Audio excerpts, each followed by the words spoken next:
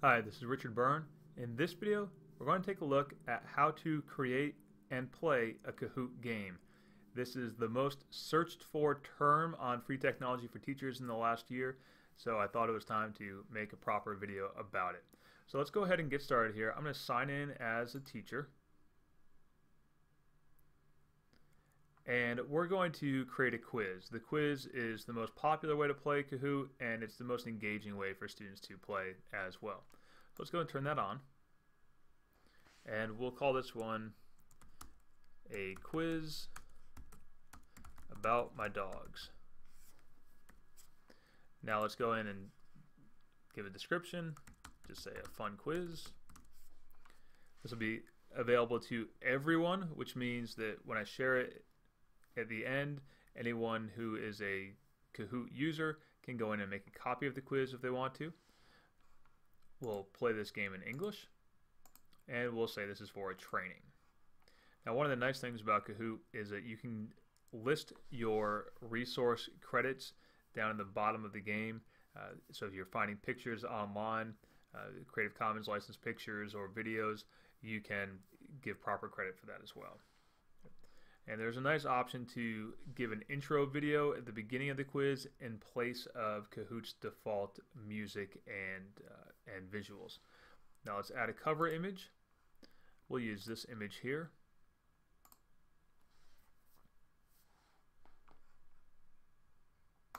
And click go. Now let's add our first question. And we'll say, what is this dog's name? Now you can add a video as your prompt and you can use YouTube to put that video in place or you can just upload an image. We'll put in our answer choices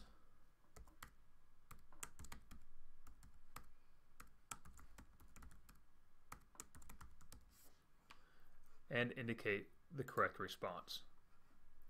Again, if this was not my picture and it was a picture I'd found somewhere else, I can give a link to that resource. We'll do one more question here. We'll say, what is this dog's name? Now, one of the things you can do is you can give your students a bit more time to respond to the question. Let's say it, it's a more complicated question. You want to give them 60 seconds to answer. You can do that. Or if you're playing this in a team mode, in which your students are sharing devices. So they, there's three or four huddled around one computer or one iPad. They might need a little bit more time to discuss the correct answer before they submit that. But for this, we'll leave it at the default 20 seconds. Let's add that image and put in some answer choices.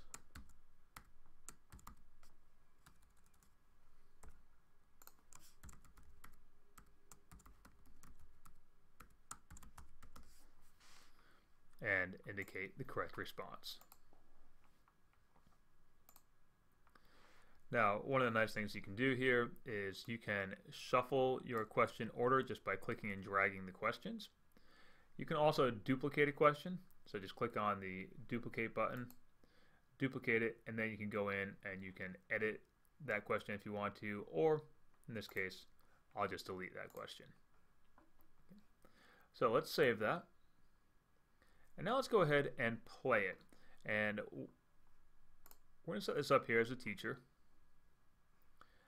And you can see all the options I have as a teacher before we press play with our students. We can enable bonuses for a streak of correct responses.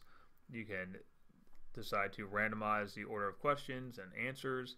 Uh, I like to leave the game pin turned on throughout the game. That way if a student accidentally exits out of the game they want to get back in, they can do so quickly by seeing the game pin always on the screen in the front of the room. And we'll play this in the classic mode. Now, once this loads, the students will go to kahoot.it and they'll enter a game pin, much like on this iPad here, and we'll go from there. So the students will see this on the screen. We'll enter the game pin here.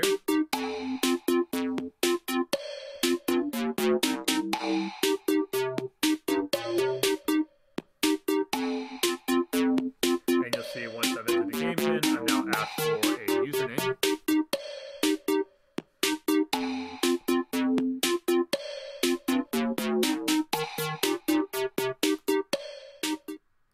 So we see the quiz load now.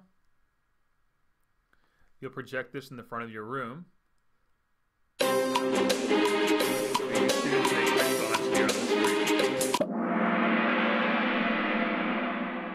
click next.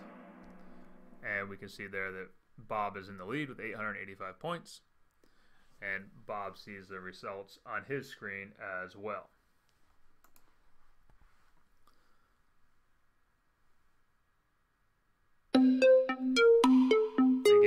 Same format. The student goes in and answers. And the student now sees that he was correct as the teacher. I'll click next and I'll end the game. Now, on the feedback and results, I can leave this on so the students can go in and rate the game. Let's say they liked it. They give it a thumbs up and they feel happy about it. And it appears there on my teacher screen where I'll click final results. Now I can save my results as a spreadsheet in Google Drive or locally on my computer.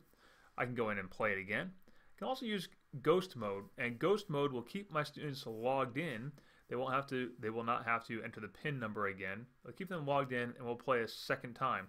And ghost mode is nice if you want to do this activity, let's say at the beginning of class and the end of class, to check to see if students improve their understanding of a topic from the beginning to end. So let's go ahead and close that out now.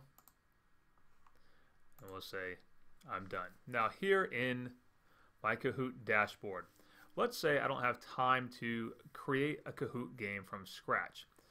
If I go into public Kahoots, I can search for all kinds of games that other people have created and made public. Let's say I want to look for a game about Thanksgiving.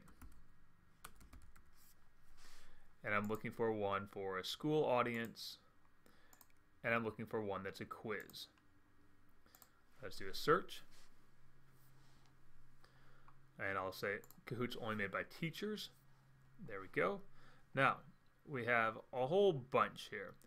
All right, here's a Thanksgiving quiz that has six questions in it. Let's go ahead and take a look at that. So I'll click on it. And I can see that the, the questions that are in here. And I can see that this person didn't add any pictures to that quiz. So I don't want to use that one. Let's go back.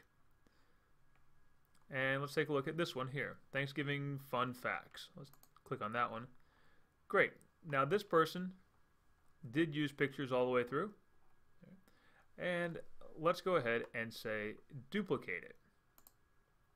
Now the reason I'm duplicating this is I want to save it in my account and once I duplicate it I can edit the questions. So in this case there are 12 questions but perhaps I only want to use 10 of them.